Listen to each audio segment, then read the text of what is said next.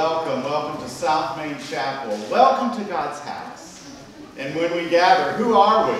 God's children. We are all God's children. This is such a special night. Uh, we have been doing this longest night service. I think this is our fourth year uh, to gather on this particular uh, night of the year.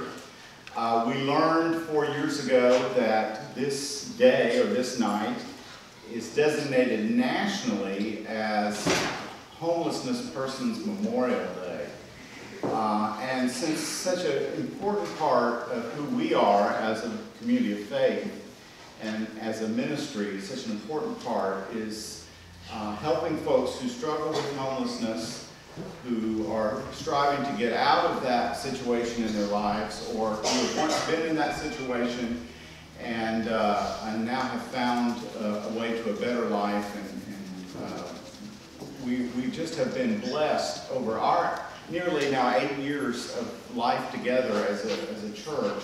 We have been so blessed by the persons that we have met and who have served here and who have worshiped here and fellowshiped here who, who, who know what, who know uh, what, home, what it means to be homeless. And so uh, this is a very special night for us. And part of our service tonight, we'll, we will be remembering by name some individuals uh, who died in the past year, uh, persons who either were still homeless at the time of their death or um, had experienced homelessness as part of their uh, journey.